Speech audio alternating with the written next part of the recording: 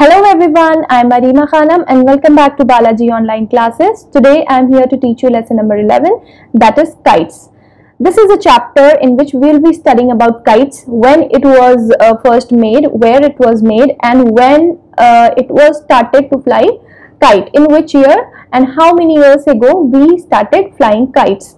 Uh, whoever is watching my video, though it may be uh, adults or boys or girls, कोई भी हो सकता है they may be fond of flying kites ज़्यादातर kites जो हैं वो बॉयज़ फ्लाई करते हैं and they are very fond of flying kites और इसके लिए हमें कोई स्पेशल स्किल्स की भी ज़रूरत नहीं होती है। uh, हम एक दो बार ट्राई करते हैं and we will be able to fly kites so let's read the chapter and understand what the chapter is about and uh, let's know more about kites.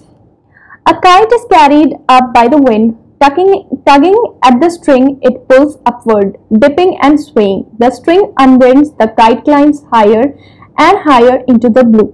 Its color shape uh, looks beautiful against the sky. Flying a kite is a fun way to spend a bright day.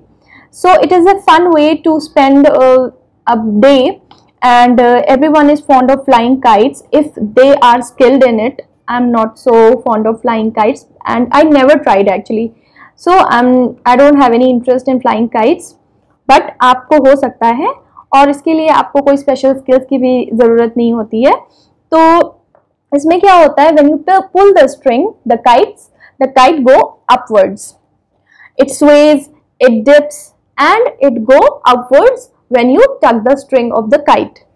People started flying kites over 2000 years ago. The Chinese were the first to fly kites. Several centuries ago, Chinese travelers brought kites to India and now flying kites is a favorite pastime for both children and adults. So, who started uh, this type of uh, interest? The first people were the Chinese. They started uh, flying kites 2000 years ago. And several centuries ago, Chinese travelers brought kites to India तो China से ही ये interest आया है और वो लोग ही थे जिन्होंने पहली बार काइट्स उड़ाना शुरू किया और वो ही लोग इंडिया में भी लेके आए थे।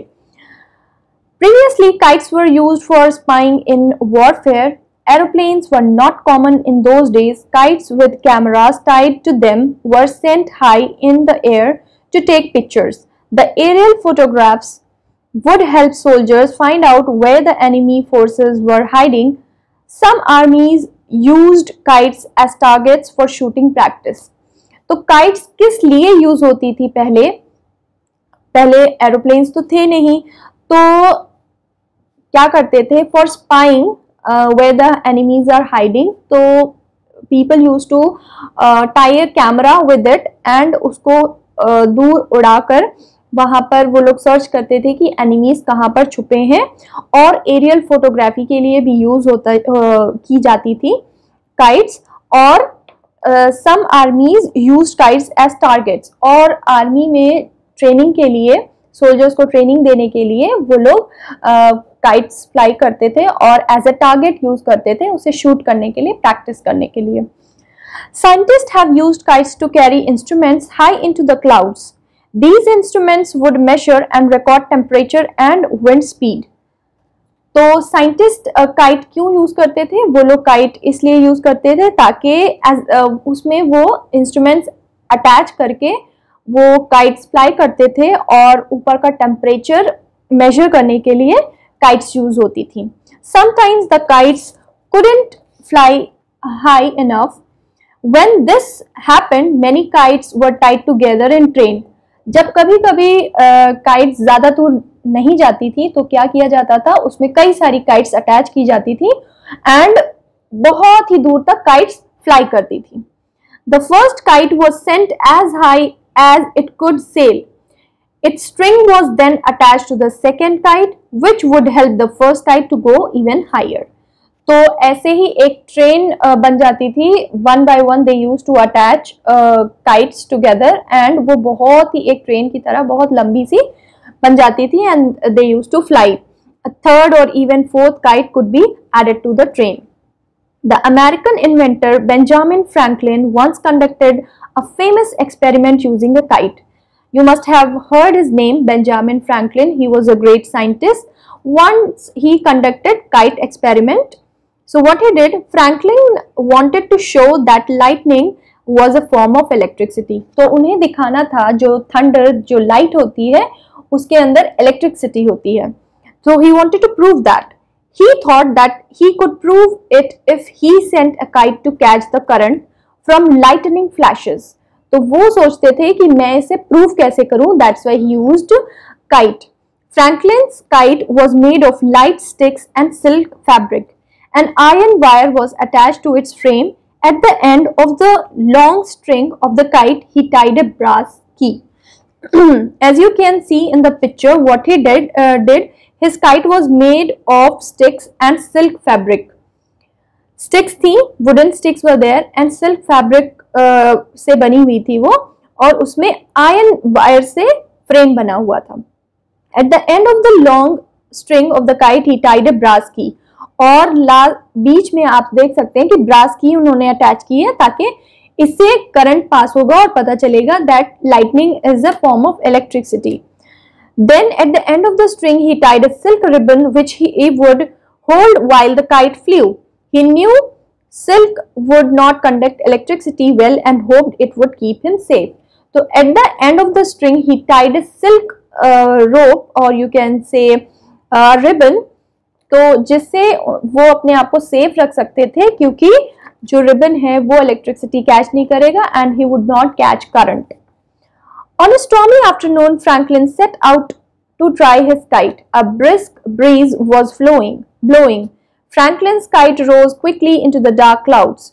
raindrops were pelting down he needed to keep the silk ribbon dry because once wet it would conduct electricity Franklin reached out and tapped the key with his finger. Sparks, uh, sparks flew. It was electric, not catch current. On a stormy afternoon, Franklin set out to try his kite. A brisk breeze was flowing, blowing. Franklin's kite rose quickly into the dark clouds. Raindrops were pelting down. He needed to keep the silk ribbon dry because once wet, it would conduct electricity. Franklin reached out and tapped the key with his finger. Sparks, uh, sparks flew. It was electricity. So what happened? On a stormy afternoon, he started flying uh, the kite which he made of silk, the wooden sticks, the iron frame and he attached a brass key in the middle and he did experiment. तो क्या होता है it was drizzling.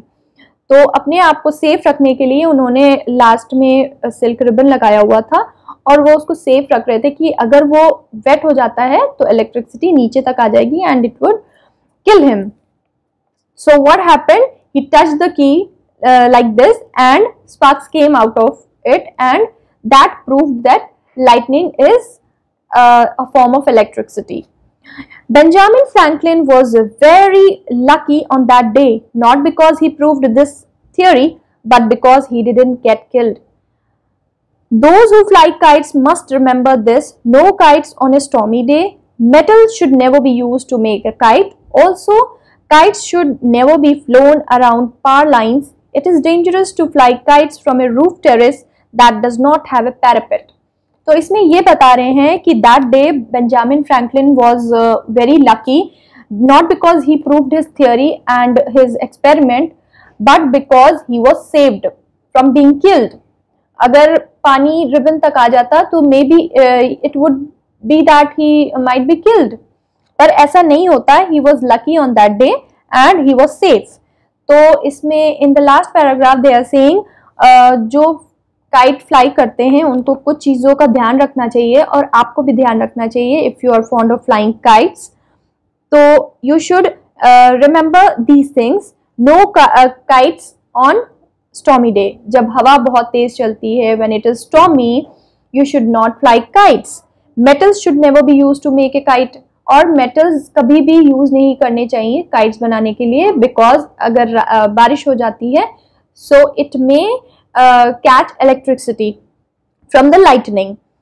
and also kites should never be flown around power lines और power lines के पास kite हमें नहीं उड़ानी चाहिए। It is dangerous to fly kites from a roof terrace और हमें अपने टेरेस पे फ्लाई नहीं करना चाहिए काइट्स को, क्योंकि अगर उस पर पैरापेट्स नहीं है। Parapets are the small walls और the boundaries you can say on your terrace people often fall fatally off the edge of the roof क्या होता है कि अगर पैरापेट्स नहीं है आपके टेरेस पे तो people do not notice that where they where they are standing and where they are going वो पीछे पीछे जाते रहते हैं और कभी कभी एक्सीडेंटली वो नीचे गिर जाते हैं and they may break their limbs और they may get hurt they keep tugging at the string and walk backward with eyes fixed on the kite in the sky today kites are used mostly for fun families go to open spaces like parks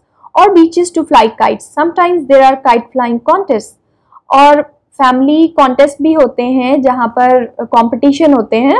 वहाँ पर लोग जाते हैं and they fly kites experience flyers can launch their kites up in the up in the sky in a few moments novices need other to help them and some patience और novices जो होते हैं, जो pro नहीं होते, जो pro है, वो क्विकली अपनी पतंग जो अपनी काइट्स हैं, वो बहुत दूर तक फ्लाई कर लेते हैं but people who are new और beginner you can say novices means beginner जिन्हें अभी ज़्यादा ट्रेनिंग नहीं है और ज़्यादा तरीका नहीं पता होता है, जिन्हें काइट फ्लाई करने का तो वो उन्हें थोड़ा टाइम लग सकता है and they should be patient for that India has an old tradition of kite flying Indian rulers at once loved this import from China kites also become popular among the people because it was easy to make them and one needed no special skills to fly them.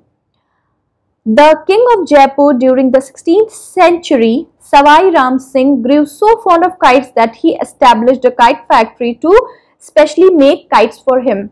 Savai Ram Singh from Jaipur, he was so fond of flying kites that he established kite factory उन्होंने एक kite factory establish की, जिसमें उनके लिए kites बनती थी specially Indian kites are generally diamond shaped made with paper and bamboo और जो इंडियन काइट्स होती हैं, वो डायमंड शेप होती हैं, आप सभी को पता है and they are made of paper and bamboo the various colours design and pictures of gods and god make them look different and vibrant तो उस पर कभी कभी लोग पिक्चर्स भी प्रिंट करवाते हैं। They are very colourful design आधे है पिक्चर्स आधे है pictures of gods and goddess आधे है Makar Sankranti which falls on fourteen January is the great Indian kite festival on Sanskriti Sankranti day in cities like Jaipur and Ahmedabad the sky looks dazzling with the spectacular sight of million kites flying simultaneously China and Japan have their own equally amazing kite festivals तो India में एक festival है जिसे हम मकर संक्रांति कहते हैं जो 14th जनवरी को होता है।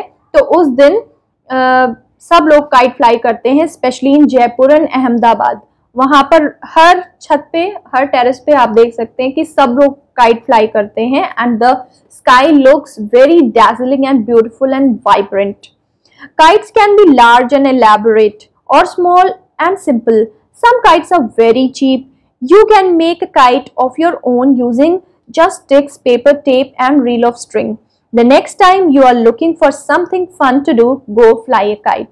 और जब आप बोर हो रहे हो तो आपको कुछ भी नहीं करना है आपको बस थोड़ी सी चीज़ें लेनी है जैसे स्टिक्स लेनी है पेपर लेना है टेप लेना है और रील ऑफ़ स्ट्रिंग लेनी है और अपनी खुद से पतंग बनानी है and you can start fly so that's it in the chapter i hope you must have understood it uh, very well so if you want to fly kites go get those things and make your own kite and fly it and have fun. I hope you must have understood everything in the lesson. So what you need to do is just download the exercises from School Mitra and start doing it in your notebooks and books. And meanwhile, take care of yourself and wait for my next video. Bye-bye.